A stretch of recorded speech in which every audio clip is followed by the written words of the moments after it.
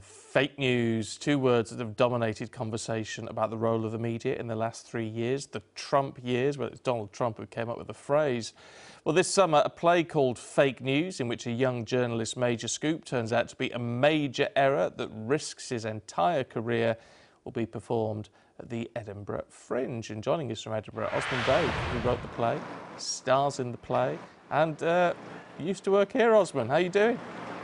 I'm good, thank you. Hi, Stephen. How are you? It's good to speak to you again. We did work together many years ago, and it's great to be on this side of the camera now. I bet it is. Uh, look, talk us through the play. Why did you want to write about this? Uh, so the reason why I wrote this play is because, well, so as I just suggested, you know, I've been a journalist for many years. I've worked at Sky and other organizations. And uh, I got to the point where I was just genuinely fed up of Donald Trump and other people saying things like fake news or casting aspersions on the media or, you know, CNN, which is a company that I then went on to work for. And it's like, this is a, inaccurate, and B, it's unfair, and it's kind of insulting to sort of the great people who I've worked with over the years and the great work that people do. So I was like, you know what, I'm going to take matters into my own hands. I'm going to tell this story of how I think, from my experience, the media actually works. And uh, I kind of wanted it to be something that really sort of showcased how ordinary people make up the media. It's not just people in these ivory towers pushing some agenda. You know, as you'll know, you meet weird and wonderful people. I did night shifts on Sunrise, and I can tell you there's all manner of people who you meet.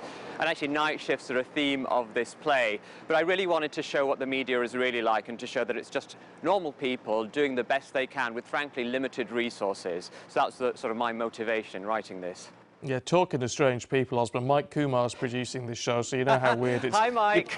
You, you, know, you know how weird it's going to be. Um, yeah. Look, in, I mean, in terms of how, how do you think this is going to go down with the crowds? Because I mean, you'd imagine at something which is quite sort of lefty, like the Edinburgh Fringe, there's going to be a lot of people out there who actually want to have a go at mainstream media. They, it, it is a, a sort of target at the moment.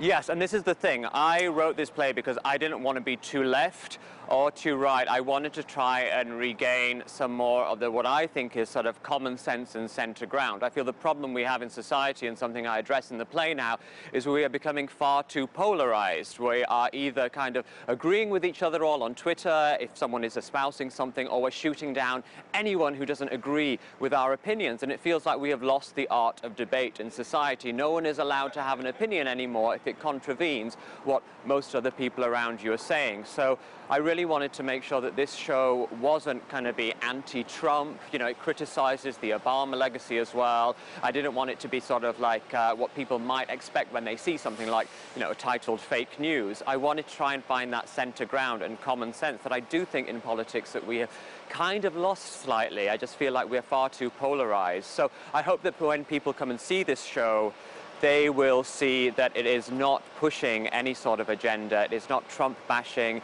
It really does have something to say about how the media works and how that is also reflecting what is happening in society right now. So I really hope that people do take that message on board. And so far, we've had a couple of previews. They've been really good audiences. You know, I've been really lucky to have great reviews. Also, the show is now pretty much sold out. We're adding extra dates. So if anyone is interested, in watch this space.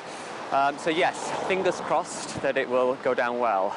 Is it scary? I mean, obviously, we, we you know we, we think of you as, as being one of one of the producers. Is it scary then saying actually this is something which I have penned and that I am going to stand up on the stage and perform? Yeah, it's absolutely terrifying. yeah, it's awful. I feel nervous every time I go on stage, but the thing is, I think that it's just a story that I genuinely believe in so much, and I think that just helps you get over the nerves, and you obviously get used to it. Um, since, you know, while being a journalist, I then went to drama school and I trained in sort of acting and I've done other shows and I've done a lot of theatre since. Um, but of course, when you're presenting your own work, it is nerve-wracking because it's totally exposing. I wrote it myself and, you know, it's all me. I still don't let my family watch it, even though they've wanted to come up and see it. It's just because it's very personal. But I think ultimately the message of the play and what I believe that I have to say overrides that. And um, luckily the response from audiences and luckily critics as well has been so positive. That's just galvanized me on the journey as I keep going. And hopefully there'll be more life in the show yet. I would love to see it on TV. I think TV is my natural habitat, having worked there, and I think there's a lot of good stories and anecdotes which would work well in a TV newsroom setting. So, uh, yes, I Yeah. feel really encouraged by it. Well, all, all you need to do to, to wrap it all up for TV is to write the theme tune, sing the theme tune, and then you've done everything. Yes. Really good to see you. Thank you very much indeed. Thank you so much. Thank you, everyone. Thanks.